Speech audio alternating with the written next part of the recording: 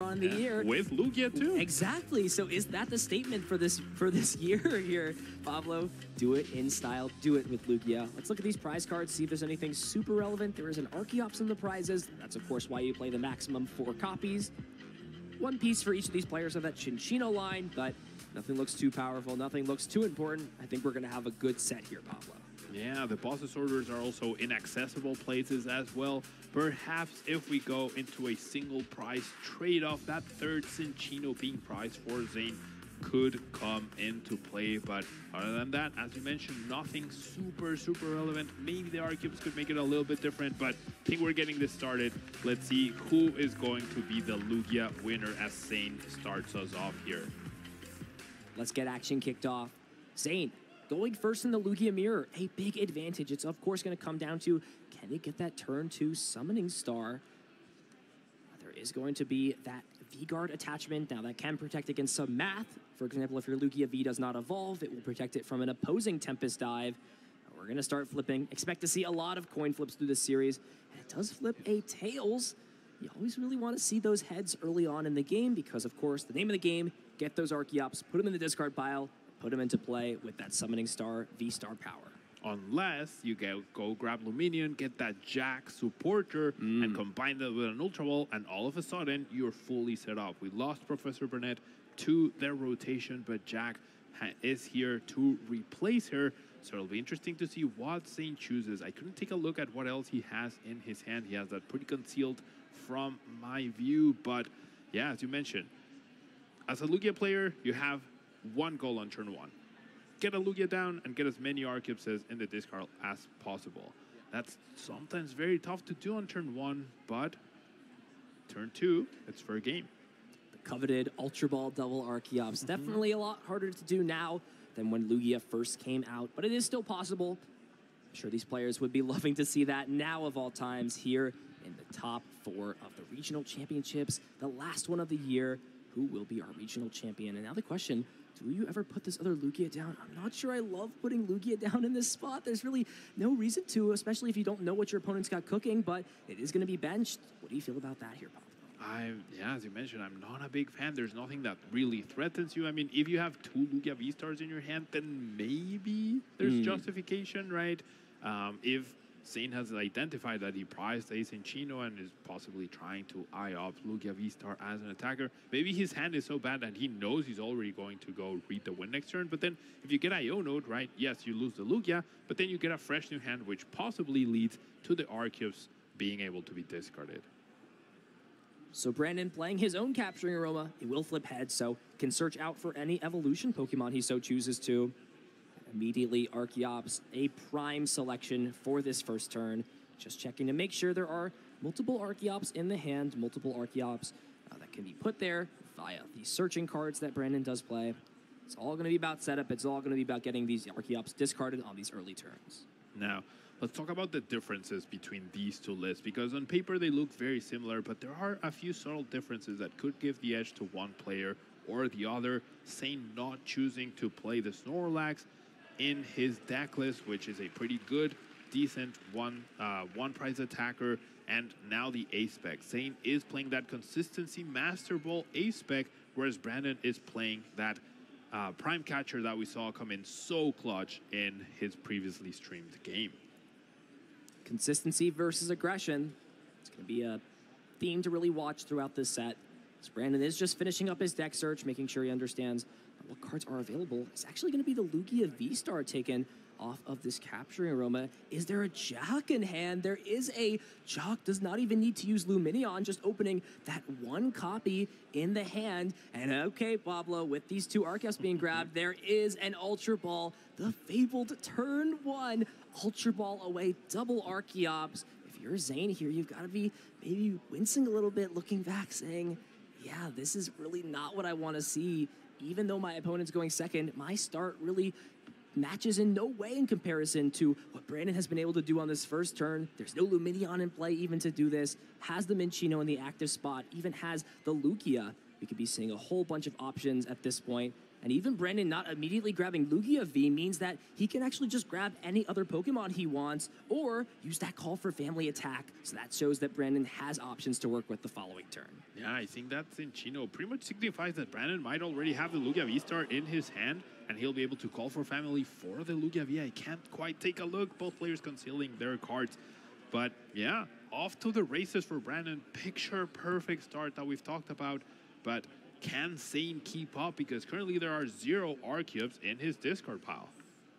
And it is slightly risky to only get one Lugia V here because there is a world where you could get knocked out this turn. If your opponent's holding on to a few Archeops in hand and then has like Ultra Ball plus either Lumineon or Boss or Lugia V-Star, then that would be able to knock out your solo Lugia. It's a risk I feel like is worth taking, especially when your opponent hasn't showed much, but it is something that you've got to maybe sort of hiding a little bit, saying, all right, please don't have the absolute crazy combination here. Please just don't do anything with this deck. Maybe read the wind, take some time for yourself. I'll come in, I'll clean up your Lugia for you. Don't worry about that.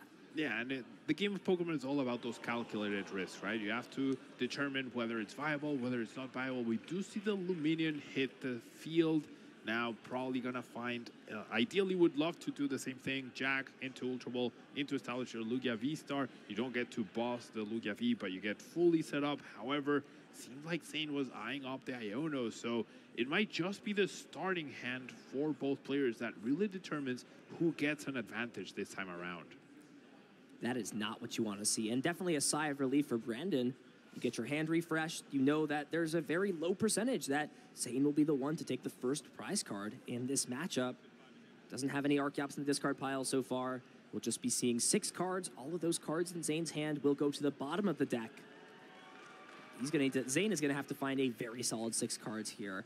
At minimum, at least one Archeops to read the wind away this turn. Otherwise, even as it stands right now, with just one Minccino in play, if there's the potential for Brandon to just start chasing after Minccino throughout the game. This is really where it becomes interesting. Do you go after the prize cards or do you go after the main attacker? It's really going to come down to what Brandon has in hand and what he feels like is a better chance for winning this first game. Yeah, but Brandon only needing one Lugia V-Star, right, which he has three copies of, or the Ultra Balls, or even the Capturing Aromas potentially, whereas Zane needs so much more. We're going to see this Great Ball, see if that can even find an Archeops, what else is in the hand, but I mean, now of course, this extra Lugia V getting benched is pretty good for Zane. He definitely had the foresight to do that in the previous turn. Let's see what the Great Ball finds here, Ethan. And he's really thinking about it here. I'm not sure there's a great target to take. It looks like considering maybe a Lugia V-Star to go to the hand to allow yourself to use that Summoning Star on the following turn.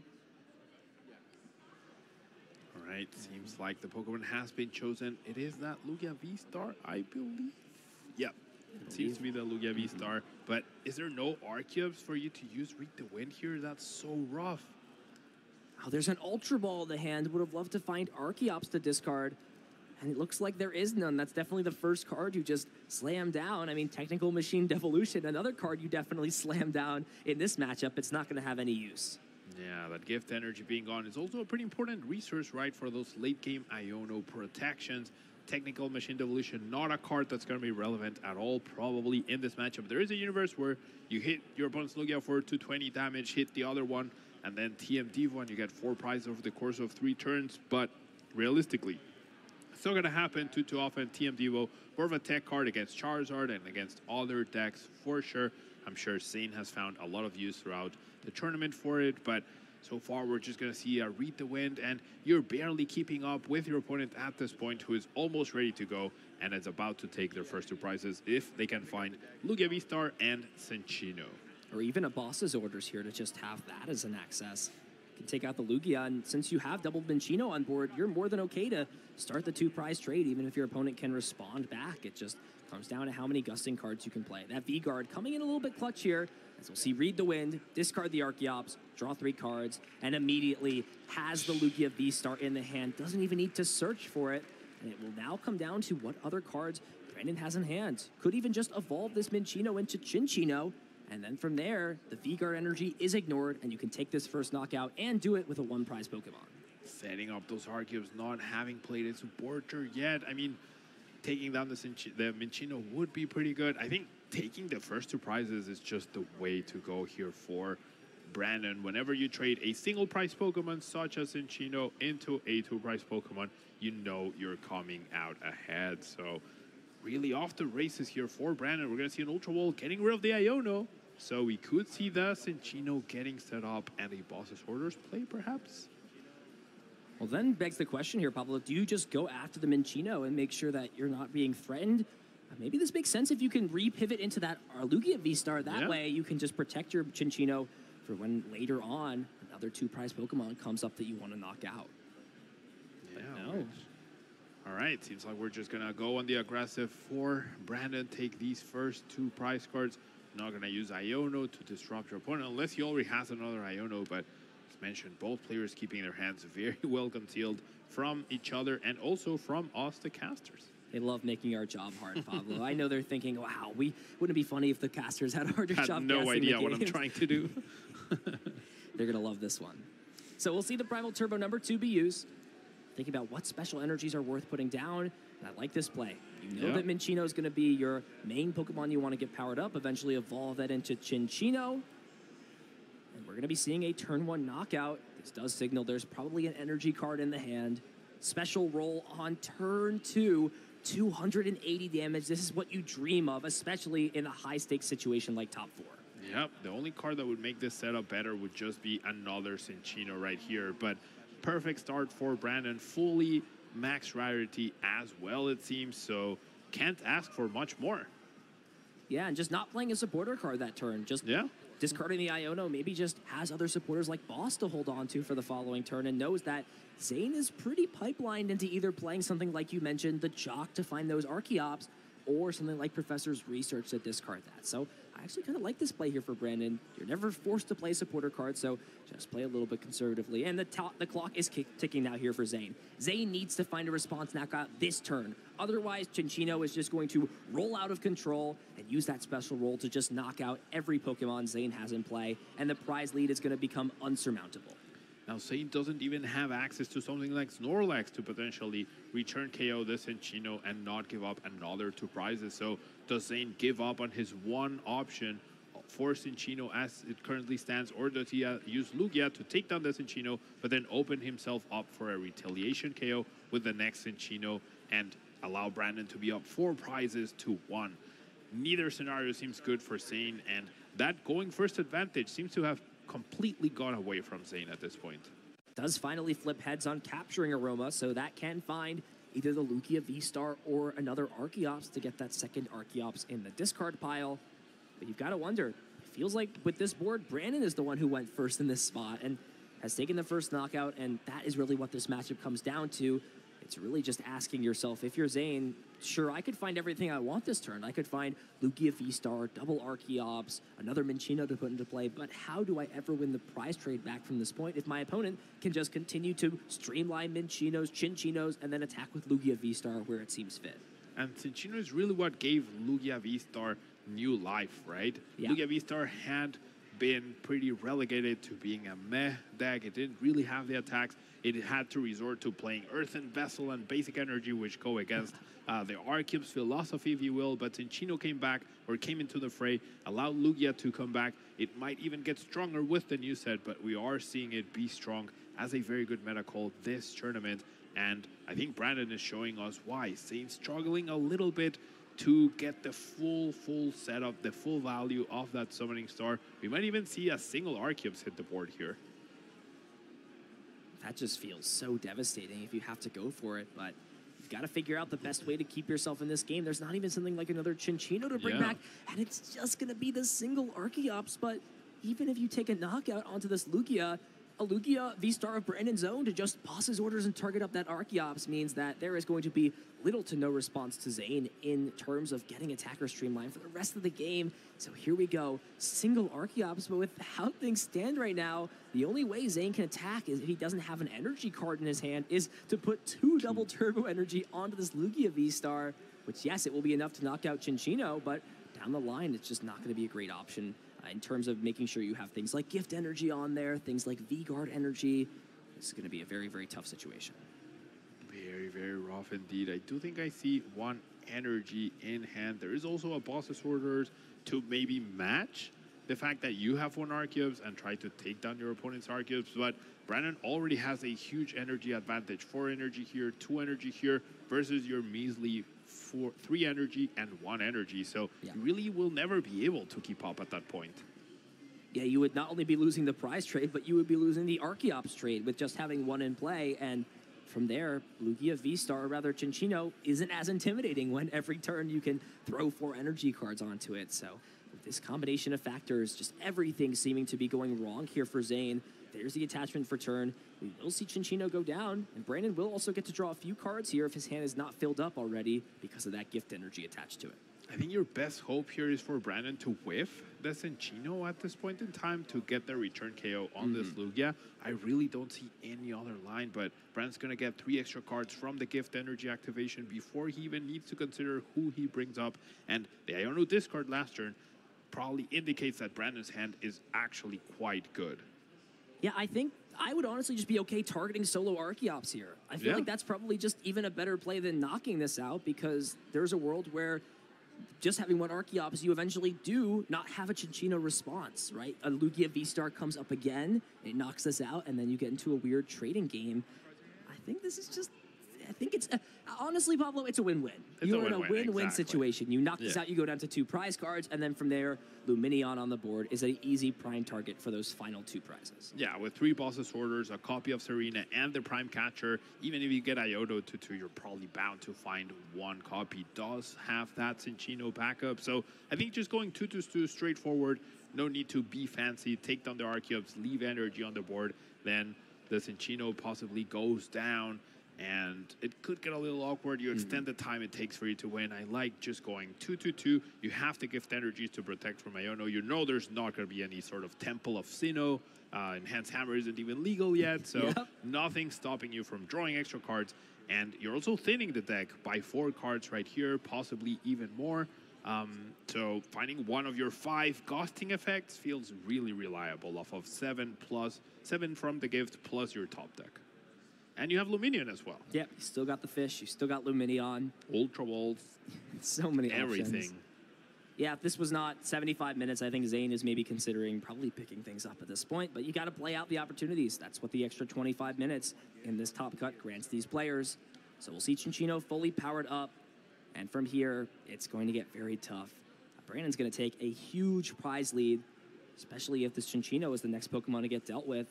And yes, Collapse Stadium is still a card you've got to think about. There are ways for this, or a way for Lumineon to be removed from the board. Of course, allowing both players, or forcing them rather, to discard until they have four bench Pokemon left, if they do not already have four bench Pokemon, or are filled up at five. So we'll see exactly what happens here. Cinccino, prime and take this knockout, and we're going to see the attachment for turn onto the Lugia V-Star as well, meaning no matter what happens, next turn, a single Primal Turbo will power this Lugia V-Star up. Brandon not playing any supporter cards, not playing anything else out, is content with what is in the hand at the moment, and can use special roll to take another two prize turn. special roll taking two prizes. Gonna draw four cards from the gift energy, potentially finding that Collapse Stadium, right? Zane would love to bench another Pokemon, Collapse Stadium this away, evolve the Lugia, and then maybe he stops Brandon from winning next turn, but still gonna be a little far behind, and with only one Archeops, it's really hard to keep up with the attach, uh, with the energy in play to be able to even knock out the Lugia could be a little troublesome. Zane's got his back against the wall. He knows what he has to do to pull this out. That's the start. That's Deal with this one. Cinccino. You're going to need manual attachment, but even then, you need another. But the problem also is you need a two prize Pokemon, or a Pokemon that's not a two prize Pokemon to fill this last bench Yeah. slot. Because sure, you could put another Pokemon down and remove Lumineon, but having Lugia V is essentially just the same thing at this point. There is another- yeah, and that's not what you want to see off this. You have all the evolutions you want. Still, Pablo, I'm not sure an extra basic here really makes a huge difference unless you have that collapse stadium. Yeah, there's exactly one Pokemon that can fill up that bench spot. It's Minccino because there are there is another copy or another basic Pokemon in uh, Lumineon or the no sorry the Mew EX, but that's it, right? So even if you have the Collapse Stadium, it's not easy to play. It was a head flip for the Archeops. I don't even know if it's in the hand, but it's not looking good for Zane in this game one of the top four match. Got to play to your outs. You got to play what you've got. There's already eight cards in hand for Brandon, so there's really no point to play Iono. It's just gonna cycle those cards to the bottom unless you have information that Brandon's holding on to anything, but he hasn't given any information at this point. So we'll see the double turbo, the choice of the first energy, and then any other energy that provides colorless. The gift energy really doesn't matter in this spot. If the Lugia is knocked out, refilling your hand doesn't matter. The game will be over. Now, there's no way for Brandon to take down the Lugia in this upcoming turn. There wasn't another Cinccino benched, or Minccino benched rather, but Brandon hasn't played a supporter for two turns, did get to replenish the hand, does have so many gusting options. I would put money on the fact that there is a boss's orders or some gusting effect awaiting in Brandon's hand to be able to take a knockout and close out the game. Well, there's a Master Ball that can get them in Chino, but the Collapse Stadium. Both players do play a copy of that, but finding your one copy is not exactly easy with no direct way to search for it. Nope, not easy at all. You see Zane just debating. Does the Mew EX do anything for me? Does it really make any changes? No, it doesn't. No, really, it's not going to be a huge game changer, it feels like, in this matchup. And maybe Zane just kind of accepting that the odds of finding this Collapse Stadium are so low, but will still give himself a chance. Find this Minccino, put it down, and Zane's going to have to maybe play some sort of supporter card. Iono would not be terrible, of course. Brandon's still going to end the turn off with one less card than he has in hand now. It's pretty much the same thing and does have the oh, collapse wow. stadium. Already had it. Okay. okay. So Zane making sure he's gonna make it as difficult as possible for Brandon to win this match. Now, Brandon can try to two-hit KO this Lugia. I think like the conditions now change to the fact that it's gonna take an extra turn for Brandon to win, right? Oh, we do see an Aries, so there were plenty of bosses orders in the hand. Not a single item card, however, so Aries just take a look at your hand and that's it. And this is where the issue comes in is yes, there's no immediate way to win the game this turn, but I think this is the turn now where you just play a boss's orders on the Archeops, knock it out, and then next turn there's no threat of a special roll. Or do you target the one that has the gift energy since an attachment plus primal turbo does not get you there. Especially yeah. since there's a risk that there's always a chance that Zane plays something like another collapse stadium in his deck and maybe does play Snorlax, there's a world where you can just have two of your turns essentially fully negated and Zane could come back into this game. Yeah, you are completely right. So perhaps going after the bench, there is the Minccino uh, play. However, there's the Archeops coming into the active spot. There's not going to be any extra energies for Zane at this point in time. And without the Archeops backup, that special roll is not so special. Not special at all. It's like a normal roll at this point. It's normal roll, yeah, Me exactly. Mediocre roll. mediocre roll. sufficient roll. Not even sufficient, I don't think. We're just dunking on Cinccino. What did Cinccino ever do to us, Pablo? No, no, Cinccino is great when its body Archeops is also there, but at this point in time, I mean, Zane can potentially Iono. He sees that Brandon has the other boss already in his hand, so unless mm -hmm. he can Iono, um, the game's essentially over. There's nothing that can one KO this Lugia at this point in time. You can't even trap any of the bench Pokemon because uh, there's just so many energies. This Lugia deck plays 16 or 17 energy on average as we see two of them get attached to the Minccino. So Brandon in full control being now two turns away, including this one, to close out game one. Didn't think a Lugia mirror match could take this long necessarily for a first game. I thought it would just be boom, boom, boom, knockout yep. back and forth, but it can be very in-depth, especially when a player misses a step, like not getting out, the double Archeops in this case. A huge advantage, though, for Brent in this game. Let's not get that wrong.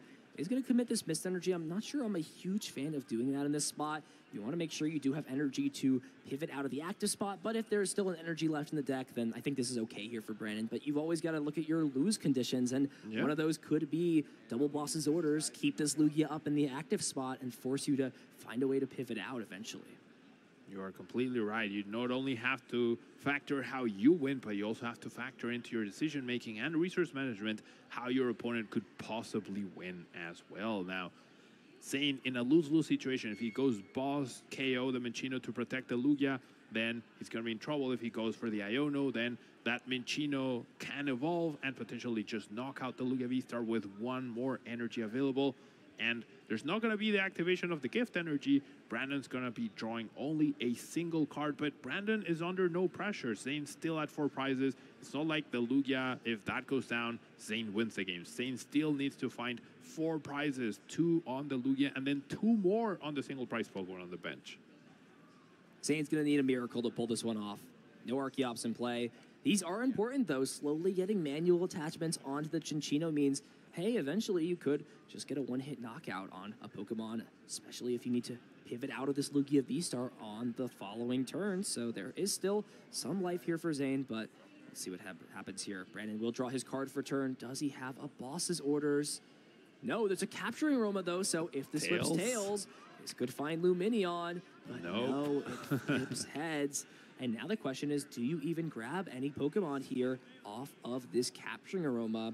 Especially if you're looking to get gift energy, but this is actually just going to be the game here Yeah. because it was a win-win either way. You grab the Cinccino, and if there's enough special energies here, but I actually don't know if there's. Oh, there is one. Okay, Yeah. never mind. Three energies already on there. Brandon saying, "Look, if I flip heads, I win. If I flip tails, I win. Which one would you like to call? Doesn't matter. I'm winning game one." Yeah, at this point, it felt like Zane was trying to do everything in his power to slow down Brandon from winning, right? It just make it as difficult as possible for him to win. But in the end, he was too far behind. Only a single Archeops, not enough powerful attackers, not enough energy in play. And now you have to wonder, Zane won the coin flip or potentially chose to go first. We'll find out. But do you choose to go first or second? Going first didn't really work out in this game one. Feel like you've still got to just hope you high roll in this mirror match because if you don't go first and you're you let you let Brandon go first and he does exactly what he did on turn two instead of turn one, it's the same situation except he is not only still having a super solid setup, but he's also putting on the first aggression, taking the first prize cards. Everything went right for Brandon this game. Everything went wrong for Zane this game. It is Lugia we're talking about, so the winds can change very quickly. We'll see how things play out. I mean, I'm pretty sure Brandon only played two supporters that game. One Jacq on turn one and one Boss's Orders to take down the Archeops eventually. He didn't play any research. He didn't play any Iono. I'm mm-hmm. pretty sure he got Ionoed by Zane into the Lugia V-Star after the perfect start with the Jacq in hand. And that was it. Yeah, he just found everything he needed off of Capture Roma, off of Ultra Balls. Who needs supporters, right? Just Jacq. Just play for Jacq in your Lugia. That's why Lugia is so good. Its board just stabilizes itself. Yeah. You don't need to dig through your deck and find attachments for turn. You don't have to use anything else besides your Primal Turbo abilities. So as soon as you put in all the hard work early on, you can kind of sit back, relax a little bit, and just be okay to swing away with your powerful attackers. Now, of course, you have that fragile setup with your Archeops, but if you have enough threats on the board, your opponent cannot keep up with that, then you're going to run away with the game, and that's exactly what happened here for Brandon. Having one more Archeops is just too much of an advantage when you're playing the mirror match. So can Zane keep up in this game? Both players have basically the same deck.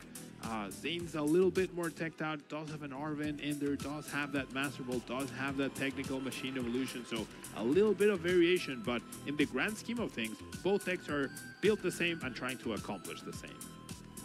Three energy cards for both players and that Prime Catcher Ace back in the prizes for Brandon.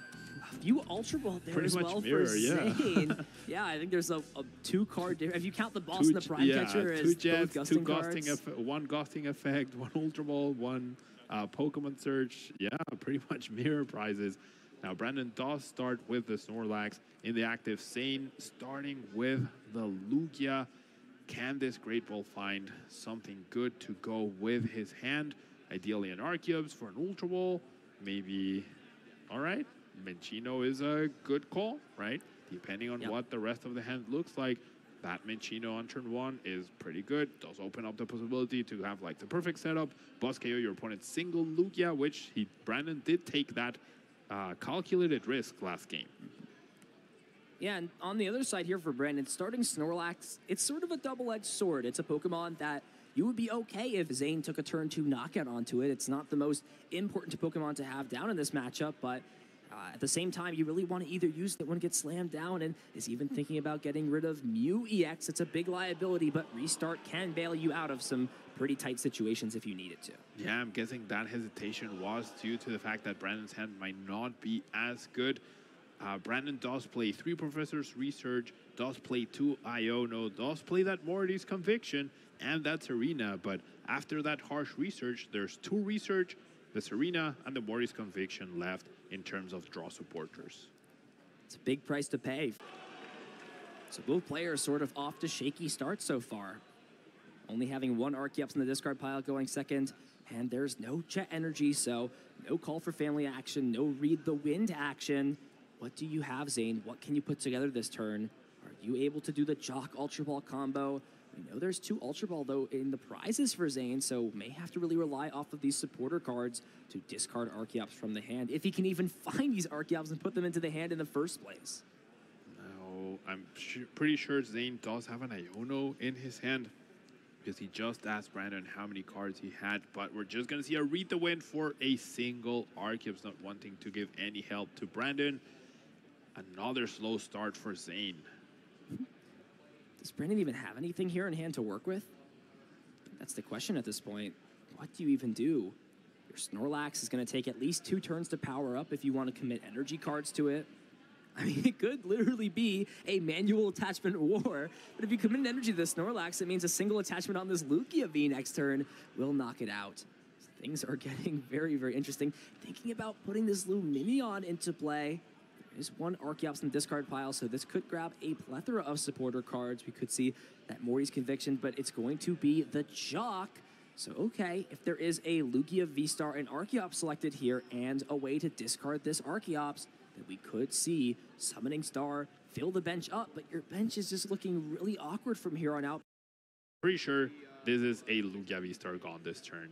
And very interesting to not put a Jet Energy, instead wants to use another Gift Energy from this point on. Like having that resource could give you a little bit more flexibility around a card like Iono. Now you're stuck with just a single Gift Energy for the rest of this game since you've committed two to this active Cinccino. And that is the big question. Do we see boss's orders or will it just be a knockout? We'll see the attachment for turn onto the Minccino. Come on, Brandon, show us. Do you got the boss? Do you have the Gusting card? He does have the boss, and that will bring up the Lugia V-Star to the active. Special roll now will put Brandon just two prize cards away from advancing into the finals here in Los Angeles. He's also about to grab the Prime Catcher from the prizes if he takes them in order. So this Lumineon could end up being very costly for Zane. There's the Prime Catcher grab from the prize cards. Two energy in the prize cards, but there should still be enough for Brandon to close out the game with Lugia. So can Zane disrupt Brandon's hand? And is it even worth it because there's a gift energy on the active and a gift energy on the Minccino. So what can you really do at this point? You can't Ghost and Iono in the same turn. Yeah, and Zane honestly wants to take a two prize knockout this turn because if he just takes a one prize knockout, he goes down to three prizes, and Brandon may not even need boss on this next turn. He can be content with taking a one prize knockout and then boss up not just the Lumineon, but any of these one prize Pokemon in play. So this is where things are going to get tough. I'm sure Zane asking himself, was it worth it to play the Iono? Was it worth it to put Lumineon into play? This could potentially cost him going to a third and final game. Yeah, Iono. When your opponent has gift energy on the active, you bring them down to four cards and then they get an extra four, right? Three from the gift, one from their top deck. You need to go boss, boss. So you needed the Lumineon potentially to find one of those boss's orders to give yourself that advantage. Things just not looking great for Zane in this second game of top four. and only one double turbo energy down. So that means if there are multiple in the deck, we know Brandon is playing three copies. Even just two double turbo energy will be enough for this Lugia V Star to knock out the Lumineon. Do we see a stadium card? Is there the collapse stadium? And the only disadvantage of that is you also discard your opponent's Lumineon in play, so it sort of acts as a neutral play. There's a that's it. knockout. We're just going to see the knockout onto Cinccino. Brandon's going to play through everything, play the gift energy, and I think Brandon has all the cards he needs to punch his ticket into the finals. He's going to look through the deck, use this Primal Turbo to power up Archeops. Just need to make sure there's enough energy cards in the deck.